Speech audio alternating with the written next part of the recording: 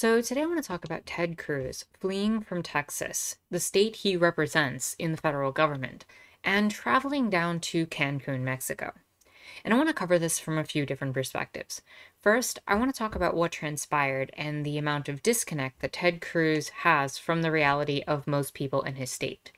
Second, I want to talk about leadership because we live in a government with representation and leaders, and I want to talk about what an actual leader should be doing and what leadership should look like if we have to have it, in comparison to what Ted Cruz has, well, not been doing. Finally, I want to talk about mutual aid and people coming together in crisis, and how politicians have not been the reason for why so many lives have been saved and protected during this particular crisis in Texas. So, what actually happened in the situation with Ted Cruz? By now, I'm sure you're familiar with what's transpired in Texas and the fact that their power grid has failed. If not, I covered it on a video a few days ago, and you can use that video if you'd like to acquaint yourself with the full story. I will link it in the description down below. So, with that out of the way, after spending two days in the cold without power in a home, where Ted Cruz had a working fireplace and presumably plenty of safe products to burn without the risk of carbon monoxide poisoning or any real threats or dangers. Ted Cruz and his daughters had a conversation in which his daughters, according to Cruz, asked him to go travel someplace warm. So Ted Cruz, trying to be a good father according to him, booked a flight against CDC guidelines and took his family down to Mexico. The irony, of course, being that Ted Cruz is a huge proponent of preventing people from Mexico from fleeing their country and coming into the United States, but has no issue doing the exact opposite and fleeing Texas during a blizzard to go down to Mexico to enjoy one of their hotels and luxury situations. So, you know, taking advantage of the warmth is perfectly reasonable for Ted Cruz in that particular moment. So, this got leaked. Uh, Ted Cruz was seen at the airport, social media blew up, a lot of news outlets were talking about it, and Ted Cruz was questioned as to why he left and abandoned Texas. Which, honestly, is a really good question to be asking of a politician during a major disaster. So after getting caught, he flew back and has been backpedaling since, claiming that he had, uh, you know, that he was going to return sooner than what his return ticket originally was scheduled for, which was sometime on the weekend, that he was planning to, uh, you know, come back earlier because he was really thinking about it. And I'm going to be real with you, I don't buy that. I think he got caught. And I think that he responded to getting caught and is trying to weasel his way out of taking responsibility. So, you know, he claimed he was also going to work remotely down there and fix things, and he needed to come back and do everything in person. And again, I'm just not buying this whole sob story from Ted Cruz. Though, within all of his um, statement, I want to highlight one section of it because I think it speaks to pretty much all of the problems inherent in his arguments. So he says, Look, it was obviously a mistake. In hindsight, I wouldn't have done it. I was trying to be a dad, and all of us have made decisions. When you got two girls who have been cold for two days and haven't had the heat or power, and they're saying, hey, look, we don't have school. Why don't we go? Let's get out of here.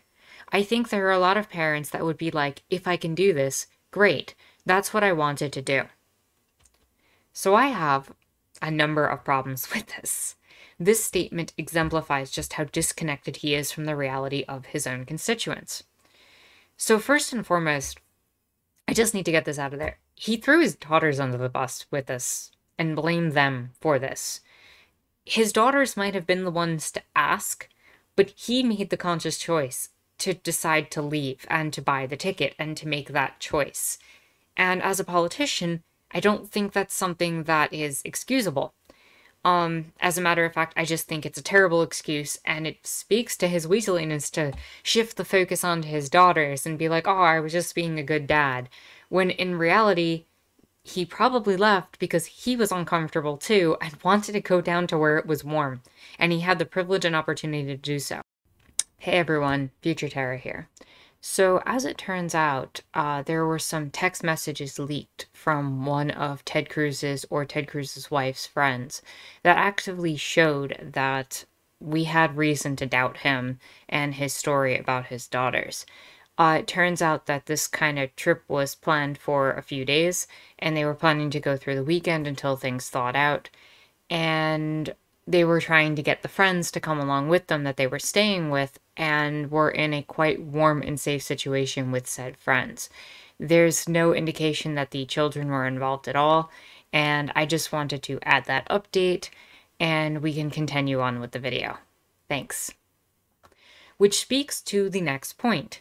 There's a lot of privilege inherent in this statement both of class and wealth and status, and him being a politician who has the ability, again, against CDC guidelines, to travel down to Cancun of all places, while he leaves everyone else in his state to suffer. And the even the idea that his two children could just be like, "Hey, Dad, I don't feel like, uh, you know, being in the cold anymore. Um, can can we go somewhere warm? Can we travel?" The fact that that was even an option for his children is so drastically dis- just separate and distinct from the realities of most people. You know, no, a lot of people, I'm sure, would have liked to have just gotten out of there, but they couldn't because they live there, because they're stuck there, because they don't have the financial means to. And it wouldn't have even occurred to most people who are trying to survive in this storm to think, oh, well, I could just get a flight out of here and the fact that his children thought that just extends that even further down. And again, it's just a disconnect from the average person. And he, you know, must recognize this on some level himself because he even says, if I can do this, great, which even implies that he knows that other people can't.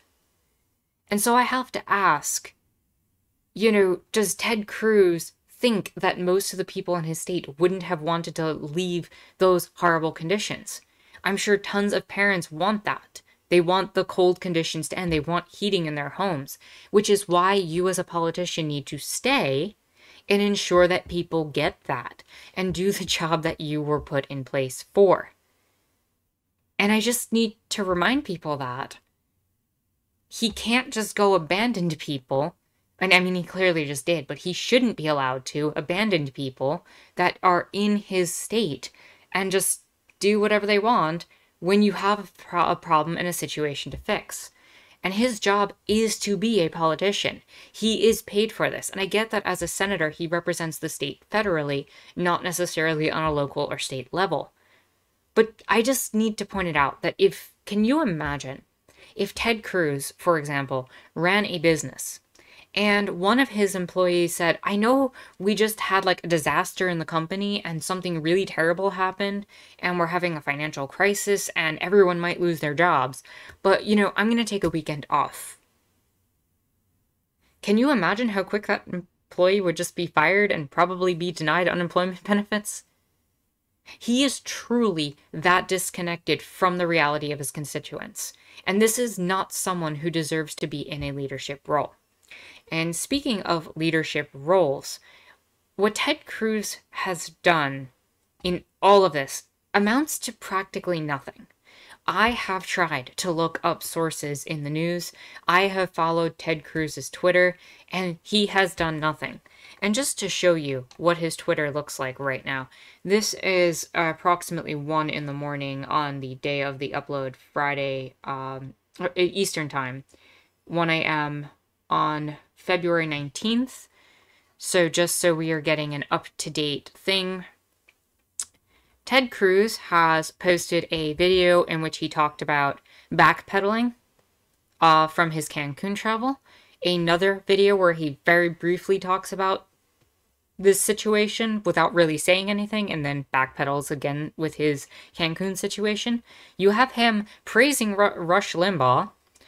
And as we go through, there's these just little things that don't really say anything. Oh, don't use a carbon monoxide based device. Like, don't use an oven or whatever. But there's no alternatives here. There's no actual care. There's no actual help. And this is the absolute bare minimum that he could do.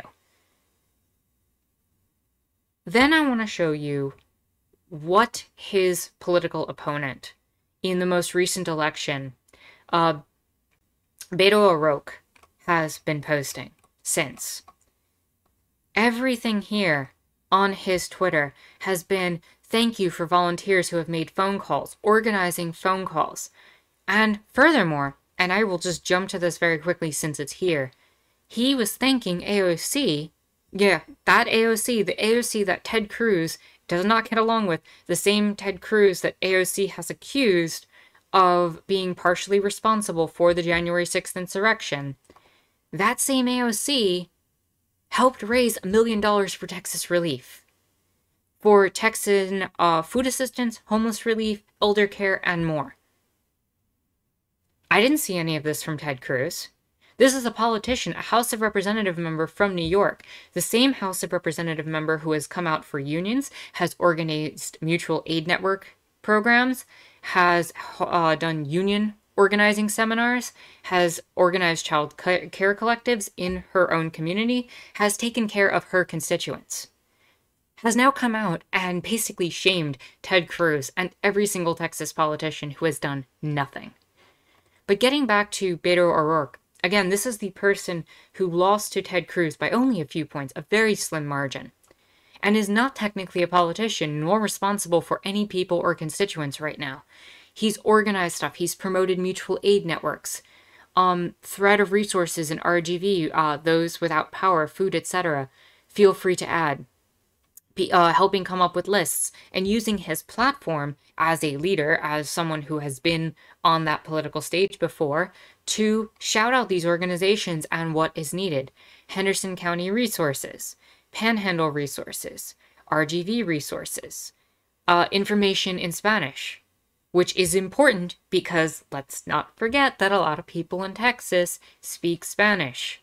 There are a lot of Spanish speaking people in Texas. And I didn't see anything of this. Instead, we have praising Rush Limbaugh going off on Ted Cruz's Twitter.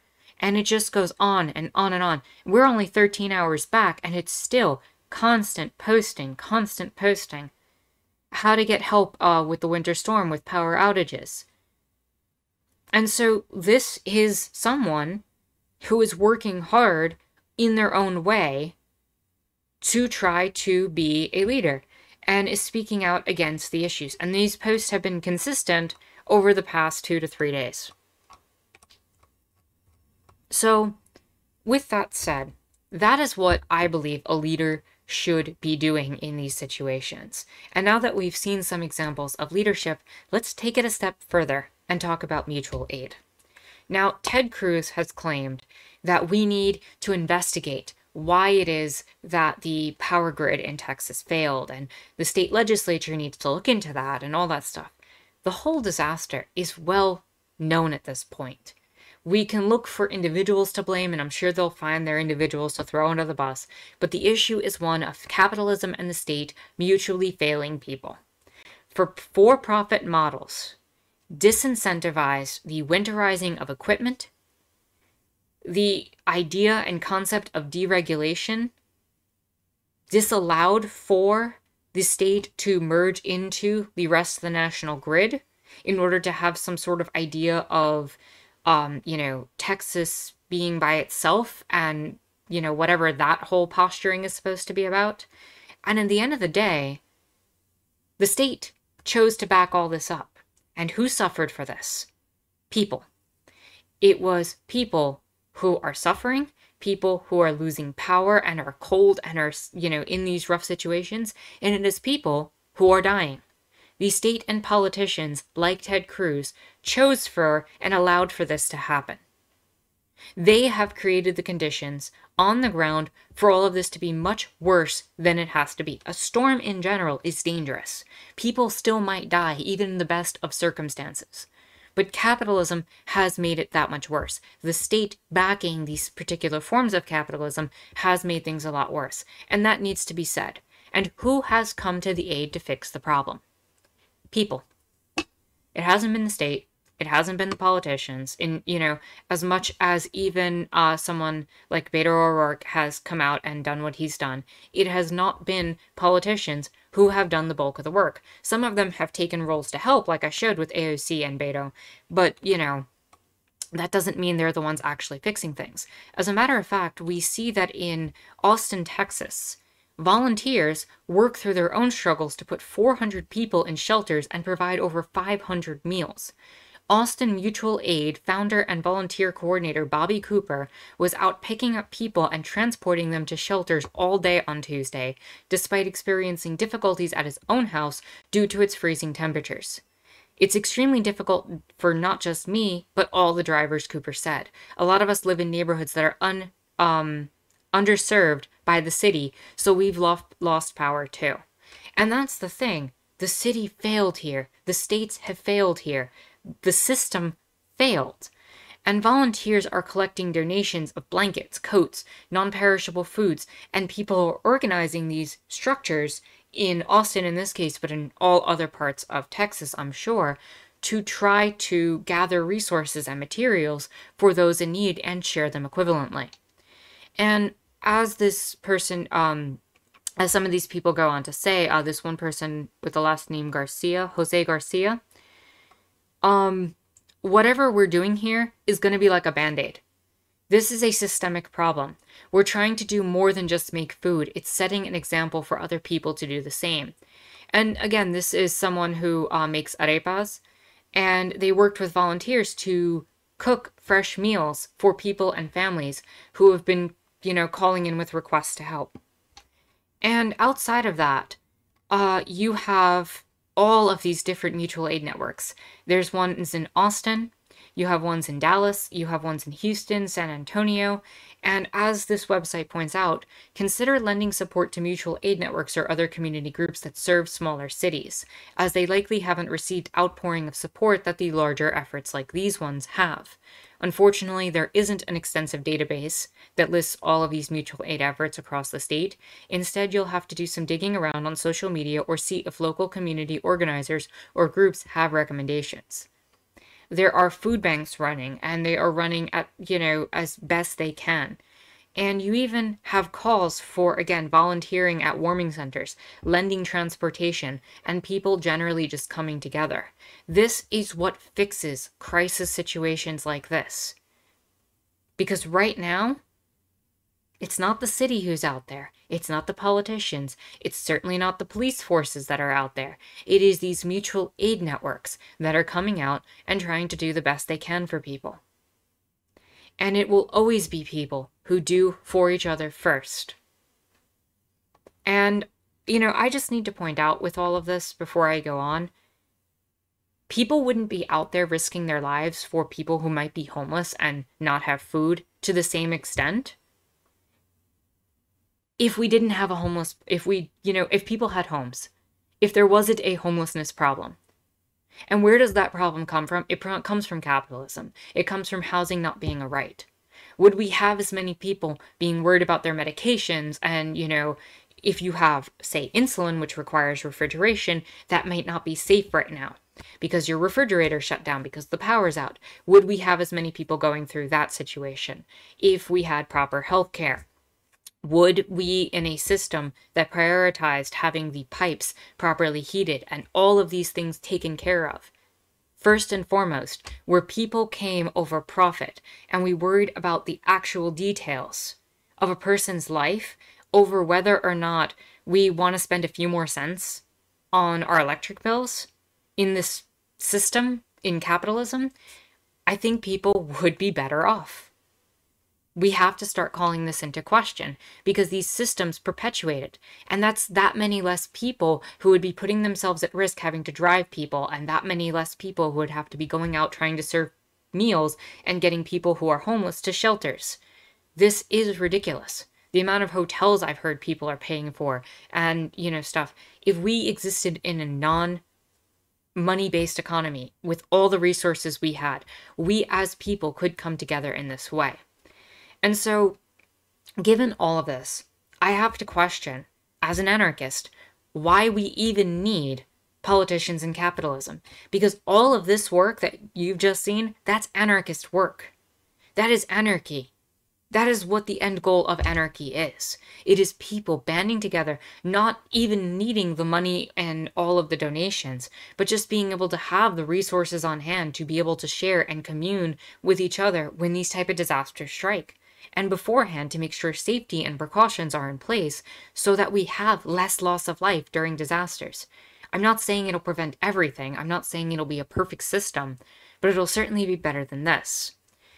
And you know, even if you're someone who isn't quite ready to make the leap to where I'm advocating for, and you know these systems and you still want to hold on to maybe the government or some sort of politics at the very least you need to recognize that people like ted cruz represent a form of leadership that flees and runs from problems and denies responsibility instead of coming to people's aid if we're to continue in this representative system in any way, shape, or form, and again, I would much rather go to a system where we eliminate eventually politicians and capitalism and actually just come to each other's aid instead of skipping all these steps and letting politicians just make things worse. Let's just come to each other's aid in all of this. But if we have to have this representative system, people like Ted Cruz, who use their position of power and privilege to flee instead of taking charge to save lives, who are more worried about Rush Limbaugh dying than their own constituents suffering and being in cold, inclement weather, those people need to go. And we need to shift towards leaders that actually care and actually want progressive policies that are going to make sure that these things stop happening. So with that said, if you like this video, give it a thumbs up, hit the subscribe button and bell for notifications. You can follow me on Twitter and check out my Discord in the description down below. My name is Anarchist Tara, and I hope you enjoyed watching.